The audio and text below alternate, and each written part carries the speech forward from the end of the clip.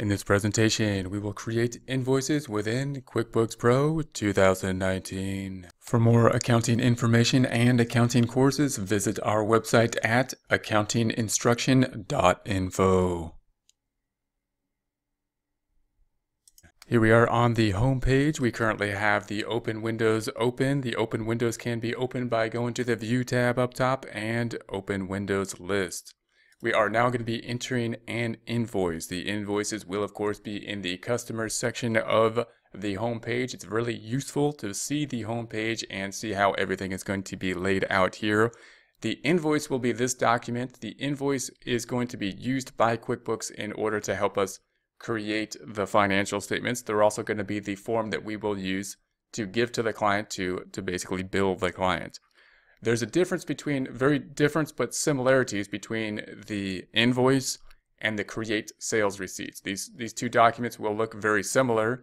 The sales receipt is something that we are going to give uh, if we are paid at the same point in time. So you can imagine if we sell guitars, someone comes into our store and says, we're going to buy this guitar. They pay us at the counter. Then we can imagine giving a sales receipt, us putting it into the system, giving them the receipt, that journal entry would then be to increase the cash, the checking account, or whatever form of payment that we received, and to record the related sales, uh, increasing the uh, the income at that time, as well as the cost of goods sold and inventory. Uh, so we'll talk about that. But the the difference here with the create invoice will be that uh, this will be a, a, type of document that will be if we are the type of company that is going to uh, do the work before we receive payments. So many service types of companies, like a bookkeeper, will have this type of, of, of company, typically a, law, a law firm, where the work will be done and then we'll invoice the client for the work that was done and then expect to receive a check in the mail in a future time period. The difference being that we will then increase the asset not of cash or some kind of payment, but of accounts receivable, that, that being account that, oh, that people owe us money, and the other side go into sales. So the two forms will look different. We're going to create the uh, invoice here. So we're going to uh, click on the invoice and we're going to say that uh, we're going to enter a customer that we are invoicing. And this is basically, you can imagine we're billing the, the customer. So they bought, we can imagine they bought the guitar, we're billing them the guitar and possibly we're putting this invoice on the guitar that we're going to ship to the to the customer. So we ship to the customer and put the invoice on it, expecting payment at that time. Again, uh, in a service company, of course, we would do invoices a lot. It really depends on the type of company as to whether we will invoice the client, getting paid later after the work is done. In this case, the work being delivering a guitar, or if we get paid at the same time, or even if we get paid before we do the work in some industries. So we're going to say that the company is going to be Anderson Guitars. And if I select the drop down, we see Anderson Guitars there. We can also just start typing in Anderson and there it is, and it autofills. That looks correct. Uh, once again, we could customize the template. We're going to keep this template. Also, we have some added information over here. I don't need this at this time. I'm going to collapse this window with this little item here, hide that section. Okay, so I'm just tabbing through this, and I do recommend using the tab key to go through this. We will uh, keep it at uh, January 12th, 2019. We'll keep the invoice, so I'm going to keep that invoice there. We're going to go to uh, bill to. Uh, uh, we, we could, we should probably have uh, the address here. And again, if we set up the, the customer to enter the address fields, we would then of course have the address. It depends on how we're going to give this to the customer. Uh, uh, um, whether we mail it when where we will need the address or we can email it so the email of course uh, which we would need the email address and then uh, I'm going to keep this blank here. The terms, I'm just going to put net 30. And these are basically when we expect uh, payment on the invoice. So that's payment terms typically. Okay, so what we need for sure here, of course, is going to be the item. This is the inventory item that we are selling. Uh, this case is going to be the Steinberger solid body guitar. And so if we select this item, uh, we can find it down here. We can go through our, our inventory items and uh, see if we can locate the Steinberger solid body and or we could start typing in if we know the item number. Uh, here it is here. If we know the item number, which is a, we called it a GTP, not sure exactly why, but that's the one we, we called it. So that's going to be the item number. The quantity is going to be 1. The description auto-populates. Now, where did this information come from? How did I get this item in the system? Remember that we went to lists and we went to items and these are our inventory items. So these are the inventory items we typically sell, the items that QuickBooks then uses to create the system. So I'm going to go back to our invoice over here. So that's going to be our invoice. The amount will, will populate automatically. And then we have the amount here populating automatically. Also note that the sales tax is now being calculated on this as well, uh, recording the, the total being uh, 430. Sales tax at 5%. That's also an item we set up. So remember the sales tax, if we go to the items list, we set up uh, the, the, the tax item, the sales tax item, which is down here. And that'll change from location to location. We're just using 5% as an example. So sales or usage tax. So I'm going to go back to the create invoice. And there's then are going to be our balance. So uh, if we think about the journal entry that's going to be involved in an invoice, it's actually fairly complicated. Uh, and so we want to make sure that uh, if we can understand that, it'll help us a lot. I'm also going to remove the print later item here. So it's not going to print later. Okay, so what's the journal entry going to be? Well, an invoice means that it's going to select accounts receivable. It's going to, we haven't gotten paid yet. It's going to increase the asset of accounts receivable for the customer, uh, Anderson. It will also record this on the account by customer saying who owes us money for accounts receivable, the subsidiary account. The, the other side is going to go to sales, so the sales amount. But the amount going to sales is only our sales, the 410 not the full amount they're going to pay, 430, because we don't get to keep the $20.50. So the other, so the credit is going to be 400, uh, 410, and then the $20.50 is going to be a credit or increase a payable that we owe to the uh, to the state for sales tax that we're going to have to owe. So we'll see all this after we record it. Then the next thing that that's going to happen is that there will be cost of goods sold and a reduction of inventory. So this will also trigger inventory going down and cost of goods sold uh, going up, the expense. Now, you, you might say, I don't even see those numbers on the invoice. They're not on the invoice. There's no invoice number for cost of goods sold. Why? Because we're giving this to the client or the customer, and we don't want the cost of goods sold on there. Uh, but we do want QuickBooks to record it using this. And therefore, if we go to the lists again, and we're looking for this GTS, if we double click on this, we can see that QuickBooks knows the cost. It's right here. But, and it's going to use the cost when we create the invoice and record it to cost of goods sold. However, it's not going to be something that shows up on the invoice. So let's see that. I'm going to close this here and we're going to go back to the invoice and this is going to be it. So let's go ahead and save and close this item. And you've changed Anderson terms. That's okay. We're going to say yes. And let's see if it does what we just explained here. We're going to go to reports up top. We're going to go to company and financial. We're going to go to the balance sheet standard. And I'm going to change the date to, let's go to the customized dates this time and see the whole year. So I'm going to change it from 010119 to um, 123119 and I'm going to say okay. And that'll help us to when we double click on something it'll give us the date range even though we only have one date as of for the balance sheet. Okay so accounts receivable here that should have gone up. So we're going to double click on the accounts receivable zooming in on it and there's Anderson guitars. If we double click on that there's the amount. And that's for the entire amount, 430, not the sales amount. That's what we expect to get a check for in the future. Closing this back out, closing this back out. The other side of that is on the income statement, the profit and loss. So we'll go to the reports, the company and financial, and then profit and loss. Changing the range now from 010119 to 013119. Oh, Let's make it, we could make it January, but let's make it 12, 31, 19 to be consistent. Okay, and there's the other side. There's sales, 410. So if I double click on that, same invoice, 410. However, if I double click on that, the 430 is what we're going to get. We only charged revenue of 100 uh, 410. So the difference is that $20. Where did that go? $20.50. So let's close this out. Close this out. We're going to go back to the balance sheet in the open windows. And then we're going to check the payable for the sales tax payable. There's the $20.50.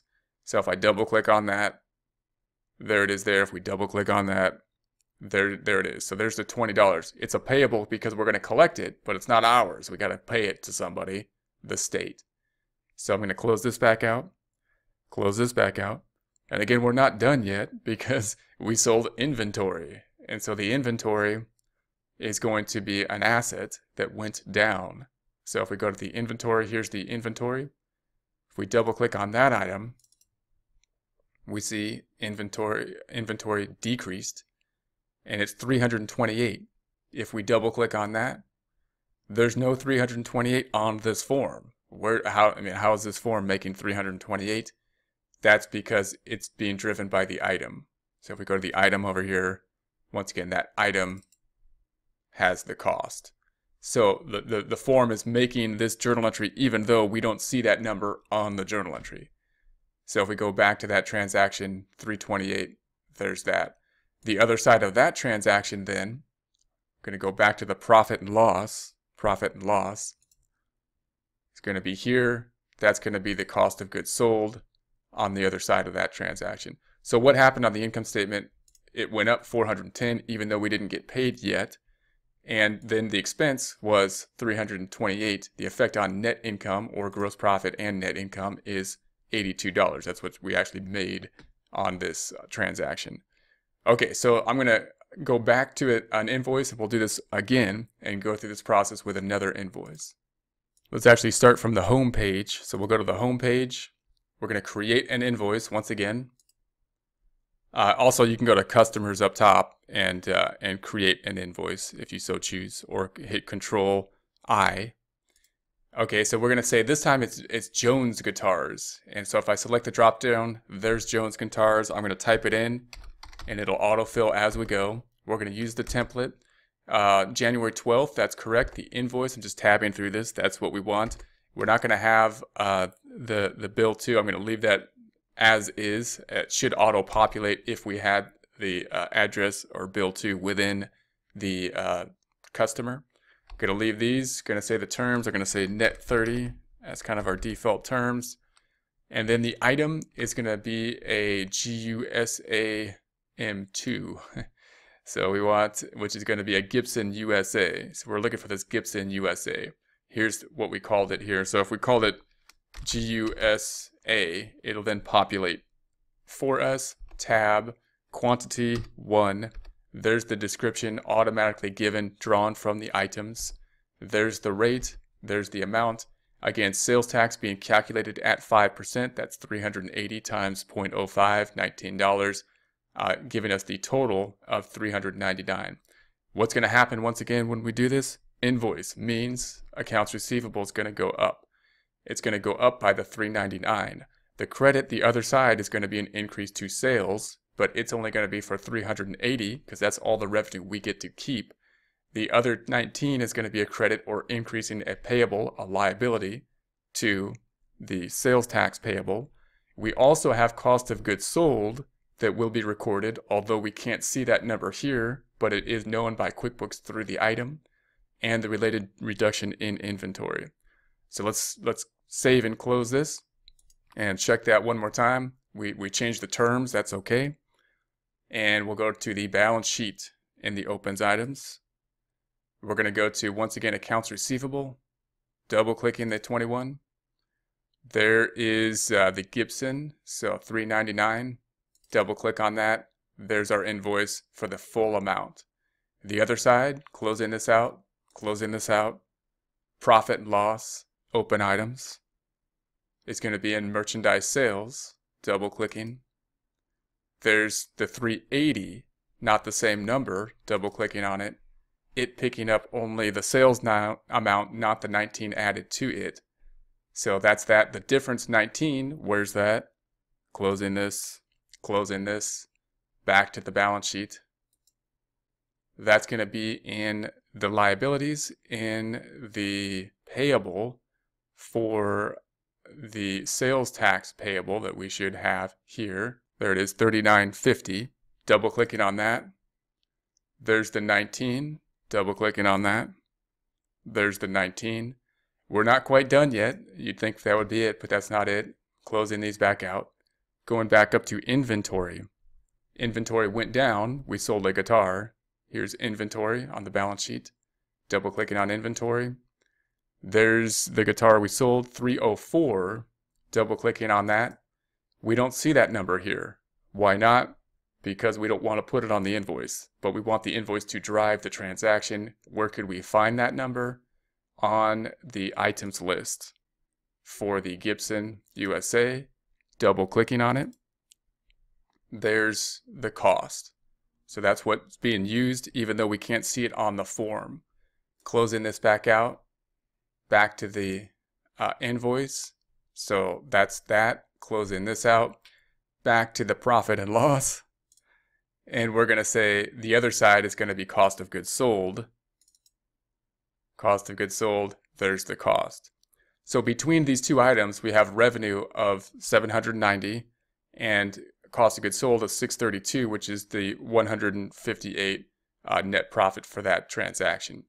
If we go back to the home page, we can see the next thing that's going to happen is we expect to receive payment in the mail, at which point we're going to reduce the accounts receivable and record the, the cash, but undeposited, and then we will deposit them, batching them all together at one time.